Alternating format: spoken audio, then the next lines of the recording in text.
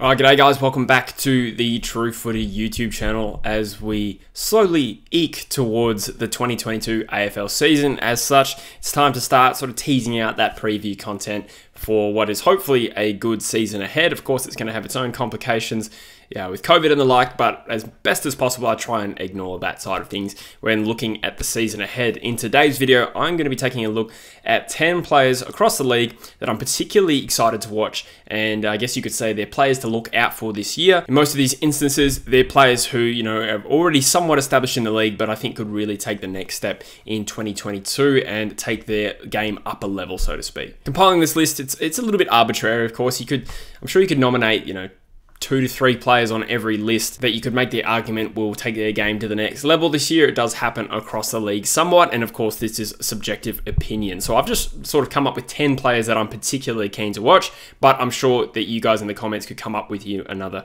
40 to 60 in the league. Before I crack into the content of this video, as always, guys, check out the sponsors of the True Footy YouTube channel, manscaped.com, where you can get 20% off and free shipping on all of their great products. I know that they have some new lines coming out, which which is definitely worth taking a look at. So if you want to keep up your manscaping routine to an elite level, do go check out manscaped.com. Also, while I've got you, it appears that about 40% of the people who have been watching my videos over the summer are still not subscribed to the channel. So if you could take the time to subscribe to this channel, and if you are enjoying the content, it would mean a lot to me. So thanks guys. But enough of the waffle, let's crack into this list. And in no particular order, these are 10 players that I think will take their game to the next level this season. So first on the list, I'm going to start with Port Adelaide's Zak Butters Butters, who is already a tremendously talented player, well-known player across the league, and he's already a very important player to Port Adelaide as well. He's super skillful and damaging, and he sort of already plays, you know, well beyond his years. He looks like a mature player out there, and as such has been an important player for Port Adelaide during a relatively successful period over the last few years. Fortunately for him, he's just battled a bit of injury. He only managed 12 games last season, uh, but this year he's publicly come out and said that he intends to be a full-time midfielder for Port Adelaide this season, whereas previously he's been kind of playing in a high half forward role. But of course, he spends more time on ball. You know, potentially he's getting five to 10 more possessions a game. And that's where I think he could really sort of elevate himself into all Australian discussions. Port Adelaide sort of got a little bit of a transition on the agenda. You know, they've drafted heavy in terms of the young talent on their list. I think it stacks up really, really well. And they, of course, have some really gun veterans, in particular Travis Boak. So they kind of need a bit of a contingency plan. What does the team look like with Travis Boak uh, gone in a couple of years, perhaps? I think Zak Butters is a really important player and really important part of that. I genuinely think there's a chance that he could establish himself as close to Port Adelaide's best player this year. So first player on the list, Butters. Next up, we are going with a particularly popular choice, Cam Rayner, who's a former number one pick who has accumulated 63 games at AFL level, but hasn't quite sort of ever got enough momentum to really establish himself as a potential A grader yet. Of course, he missed all of last season with that ACL injury, which is an unfortunate time for him at a point where he's probably ready to take his game to the next level. Over the last couple of years where he's played full seasons, he hasn't averaged more than 10 possessions a game, but being a number one draft pick that he was, and, you know, coupled with the fact that he's probably played in a bit more of a forward role, kind of protecting him a little bit, I think there is plenty of upside there, and another player who's probably been earmarked for some more midfield time this season in Brisbane's midfield. He appears to be in really good nick playing in the match sim, and I guess you could read reports about, you know, clubs' intra-club performances and their preseason games, and you have to take it with a grain of salt, but I think if he is genuinely fit and he does get that more midfield time that he's been earmarked for. He's a very high impact player, so if he starts getting 20 possessions a game, that's another player who will take his game to the next level. Bucking the trend a little bit, I'm actually going to go with the first year player here. Last year's number one draft pick, Jason Horne-Francis, who of course joined North Melbourne through the draft this year. He's a special number one pick. There were several clubs who offered a multitude of picks, and particularly in the first round, to secure his services. From memory, Richmond offered, you know, pick seven, a couple of picks in the 20s, and Cameron Col Coleman Jones. I, I might have even been three picks in the 20s. Correct me if I'm wrong there. Adelaide also had a big crack at him, understandably being the South Australian talent that he is. But we're talking about a kid here who is pretty proven against, you know, mature bodies already. He was playing seniors at the age of 17 in the SANFL, kicked three goals in a prelim, if I remember correctly, and he's a really exciting, explosive type, and he plays with a great intensity defensively as well. So I genuinely think he's going to have an immediate impact at AFL level, regardless of how you think North are going to go this year. Played pretty well in the practice match against the Demons as well, from all reports, and it's cliche to pick the number one pick, uh, you know, to win the Rising Star, but I think this kid will make an impact. He's proven against mature bodies. I don't think that step up's going to be too big for him, and I can see him having a big impact in his first season. Next, we're going to go with another Brisbane Lion, Zac Bailey, and I've picked two Brisbane Lions here, so that should perhaps forecast a pretty good year for them, you'd think. Kind of made a name for himself last year, you know, people already know who Zac Bailey is. He kind of had a breakout season of sorts. He was drafted as an inside mid back in, I think, 2016, 2017. He's accumulated 70 games for the club, and he's already a pretty good forward midfielder. Last year, he averaged 18 possessions a game and a 1.3 goals a game, but he had multiple bags of four in that, showing that he's genuinely dangerous around goals. He's another player that's been earmarked for the midfield, and I think if he does get more exposure in the guts, then he will genuinely take his game to the next level. If he starts averaging, you know, 24, 25 possessions a game and is hitting the scoreboard with the same sort of regularity, then we're talking about a genuine gun of the competition here, and I think he could sort of become a bit of a Toby Greene type. As such, I don't think this guy should actually play as a full-time on-baller. I think if you've got a forward mid who genuinely has forward craft, which he appears to, then he's not the sort of player I would chuck in the guts and then push Lachie Neale forward. But regardless, I think Zac Bailey is going to have an enormous season. Next up, we're going a little bit cliche here with Matthew Rowell from the Gold Coast Suns. Of course, he was a number one draft pick back at the end of 2019 and took the competition by storm in the early parts of the shortened season in 2020, where I think he had three three vote Brownlow games in his second, third, and fourth games, and he just had an incredible immediate impact and probably not the sort of impact I've ever seen from an 18 year old midfielder. He won plenty of football, accumulating, you know, 20 odd disposals in shortened quarters. He hit the scoreboard as well, kicked a couple against West Coast, unfortunately. Laid a heap of tackles as well. He laid 10 tackles in, in one of those games as well, and he, he just hasn't found his groove since. Of course, he had a massive injury, shoulder reconstruction in 2020, missed most of that year.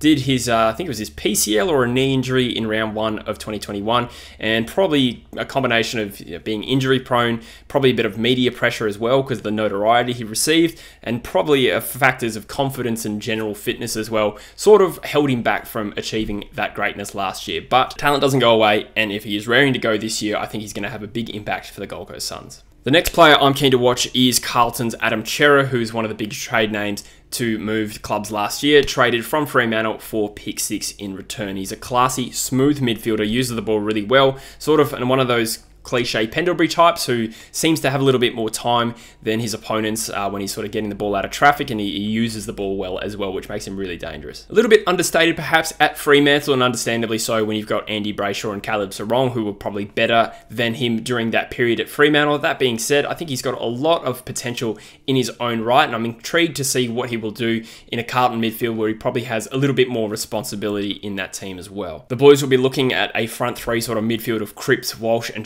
Cerra and they might think that's probably the best, you know, three midfield combo that they've had in a number of years now. So I know Walsh is injured for the first part of the season, but I'm interested to see how Cerra goes as a primary on-baller for that club. Next, we'll talk about Jye Caldwell from the Essendon Footy Club, who in my opinion is a tremendously talented player, and he sort of threatened to show that talent in the early stages of 2020, 2021, sorry. He crossed from the Giants at the end of 2020, and he played early in the season for Essendon. Unfortunately, just as he was starting to find his groove and have an impact at AFL level, he had an unfortunate injury. So he's only played three games for that footy club, but I genuinely think with more exposure and a bit more of a crack in the midfield for Essendon this season, we're going to see the sort of talent that Jye Caldwell is. So he's definitely one to watch for me this season. Next up, I'm going to nominate the oldest player on this list. It's by no means a young player in Jesse Hogan from the GWS Football Club. He's had a really up and down journey, hasn't he, Jesse Hogan? He was a prodigious talent, uh, sort of taken in the mini draft the year before he was even eligible to the Melbourne Football Club. Had some great football there. I think it was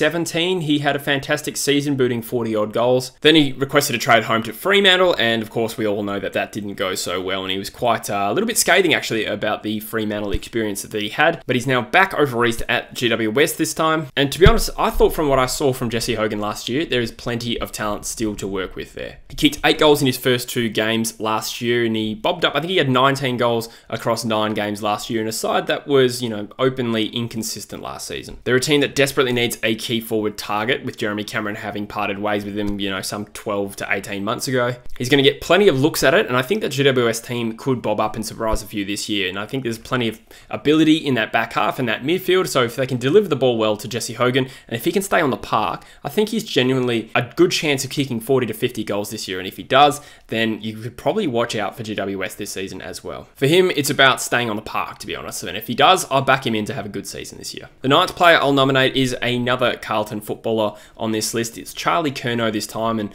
I know we might be a little bit fatigued at all the Charlie Curnow hype because, you know, for the number of years it's about how good and talented this player is, but we just haven't quite seen it on a consistent basis. And frankly, that's largely because he just cannot get fit. But he's 25 now, he's fully developed. He's probably been fully developed for a number of years now, to be completely honest. But as a key forward, his athleticism is what sets him apart. And now I sort of picture an environment where he's playing in front of a fully developed and established Harry McKay now, who just won the Coleman Medal. They've got a two pronged attack, which means that Curnow will probably have a little bit less pressure on him to kick goals. I can see him sort of playing higher up the ground as McKay stays deep. So I don't know how many goals he's necessarily going to kick, but if he stays on the park, I think there's a lot of upside in this Carlton side. I know we've been saying it for years, but if he gets fit, I'm going to back Charlie Curnow in for a breakout season. And finally, the 10th player on the list I'm going to nominate is a player that you're already familiar with, Caleb Serong, who again is a player I think really does have more to offer at AFL level. He definitely stepped up a lot last year, and you could argue that was kind of a breakout of sorts, but I think he's got more in the tank, and he averaged 22 possessions a game last year, and I think that kind of undersells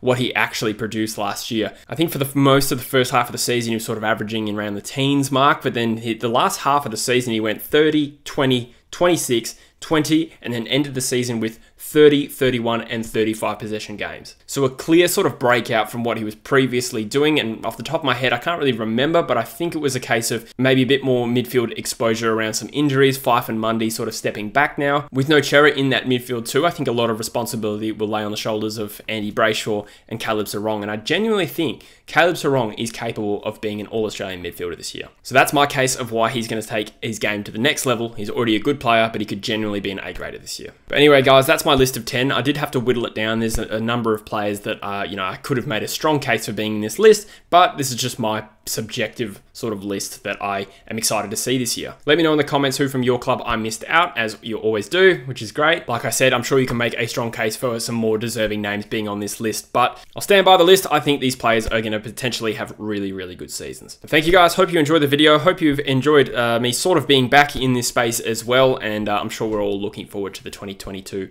AFL season. Keep an eye out for the podcast. Keep an eye out for our sponsors, Manscaped, and uh, I'll see you in the next video. Thanks, guys.